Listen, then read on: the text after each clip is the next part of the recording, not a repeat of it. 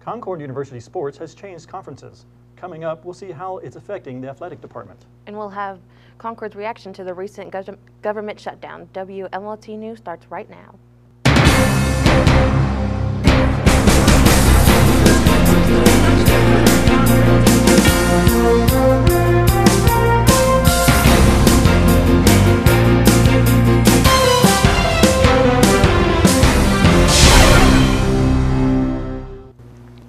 Welcome to Concord University. News. I'm Rachel Dotson. And I'm Brian Allen. Five Concord University students were arrested during the last week of September. The charges against the three males and two females included sexual assault, unlawful restraint, burglary, and felony conspiracy in three separate incidents occurring in October 2012, May 2013, and August 2013. Two of the students facing sexual assault charges were released on personal recognizance bonds. Concord police are unable to comment on any of these cases since their investigations are still underway. A budget battle recently left a government closed down. Richard Babbage has more on how people on the campus beautiful are reacting. Richard?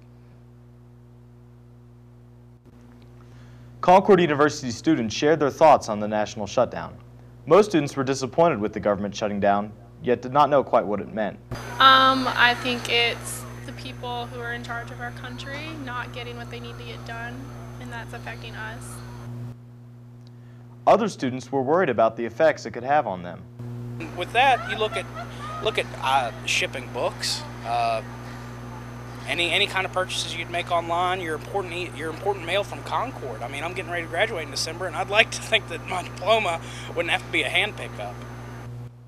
This is the first government shutdown in nearly 17 years, though this does not mean it is a new experience. The Ronald Reagan administration alone saw a shutdown every year that President Reagan was in office.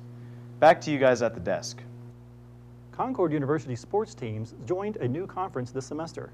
And as Jared Klein reports, things are starting out well.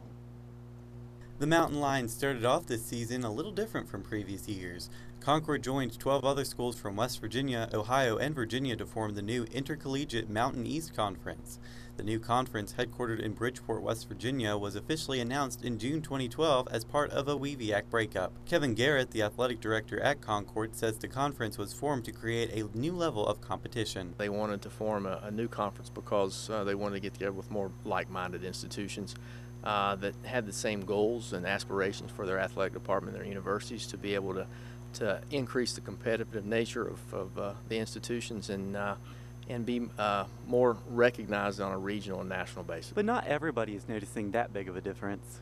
Jake Lilly, a linebacker for Concord football, says it's mostly business as usual. We ain't playing no new teams that's in there in the Mountain East Conference, but it's practically the same as the WVIAC as last year. Whether or not the changes are noticeable, however, Garrett says there's a lot of work that goes into starting a new conference. It's Anytime you do something new, there's always a lot of things you got. We had to go through the NCAA and make sure that we were, uh, you know, had all the paperwork in on a timely basis and uh, made sure everybody was uh, meeting their membership standards. And uh, but it's been it's been a lot of work up to this point. Concord has a winning record in the new conference as the Mountain Lions take on Urbana next week. For WMLT News, I'm Jared Klein in Athens. Concord University has undergone many changes over the summer, such as the beginning of the library renovations and the new restaurant Wingspan in the music department is no exception. Chad Brown has more. Change has indeed come to the Concord University Music Department this semester, especially with the arrival of the new band director, Dr. David Ball. Dr. Ball is an alum of several notable schools, including Virginia Tech, and is also not entirely new to Concord. Before stepping up as director, he was the instructor for low brass instruments. Ball says the transition from low brass instructor to full time band director has been overall smooth, but somewhat hectic.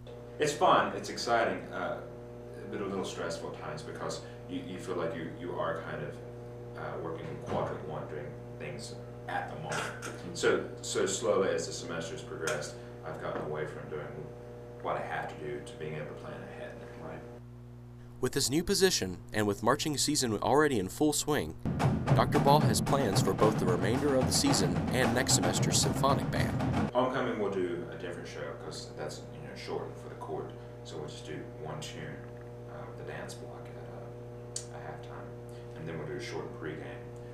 Um, it's the 150th anniversary of the independence of West Virginia, or West Virginia becoming its own state.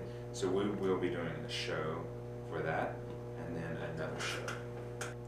So, but, but like I said, this fall we'll do a holiday concert, then we'll do a commencement performance. Then we're gonna do two concerts in the spring, and then we'll do a spring commencement. So far, Dr. Ball is getting good reviews by even senior music majors. One of them, and longtime band member Maddie Jones, confirms this. Dr. Ball is a fantastic person. He was our low brass instructor last year, and he has, just by individually teaching me, he's taught me so much. And I was really ecstatic when I found out that he was going to be our band director.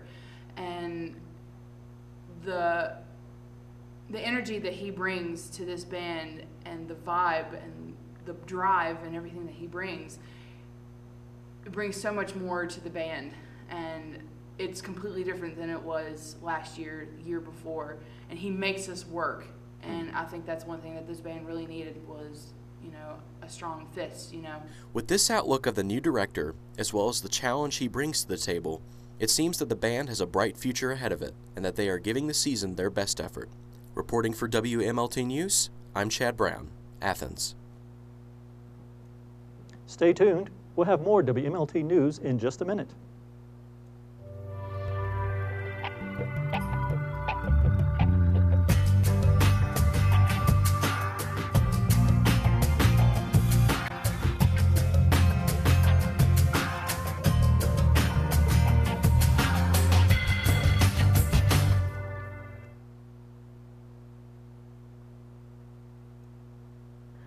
Campus organization focuses on students' video game interests. WMLT's Nathan Wilcox has more. One of the more recent clubs on campus created, the Concord Pokemon League, was established with the goal of Pokemon enthusiasts to congregate and participate in the multiplayer portion of the game. Pokemon, also known as Pocket Monsters, has dominated all forms of media for over 20 years. I asked founding member Corey Haynes what he likes most about Pokemon.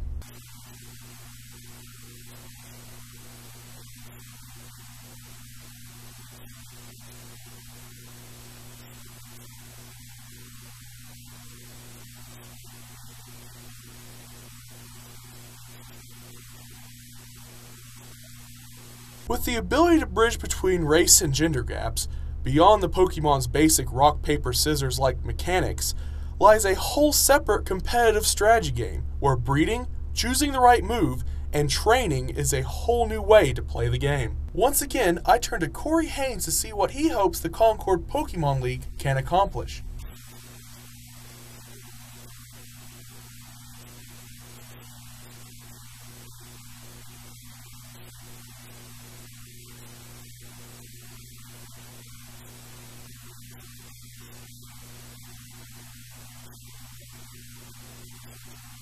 So whether you collect for fun or play for sport, Concord's newly founded Pokemon League is the best place for any trainer to be the best, like no one ever was.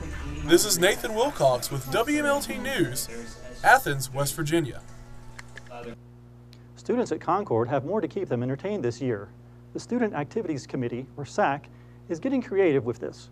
Andrew Solgit, Director of Student Activities, stressed the importance of pleasing all students with campus entertainment.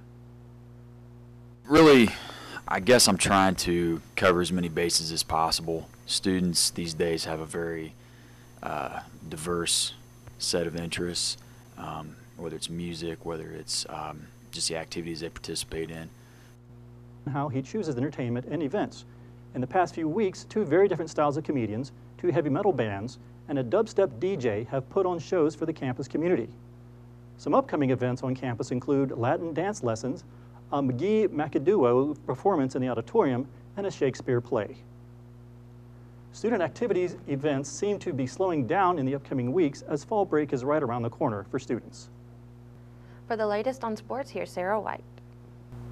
Coaching staffs in the collegiate world have been taking a serious hit in the past few weeks as the pressure of the season has begun to mount. Two major college teams have fired their head coaches in the past few weeks. The University of Connecticut fired both their head coach, Paul Pasqualoni, and their associate coach, George DeLeone, on Monday after losing 41 12 against Buffalo, which brought the Huskies to 0 4 on the season.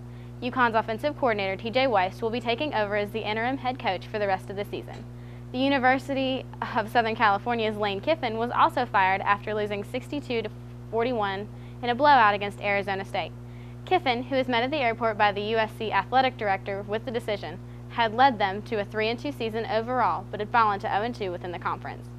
They will be led for the rest of the season by Ed Orgeron, the former coach of Ole Miss. The NFL football season continues to progress as the Broncos have taken the top spot within the ESPN Power Rankings, while the Jaguars continue to stay in last place after a rough start to their season. That's all for this week's sports. Back to you at the desk. With entertainment news, here's Chance Razzo.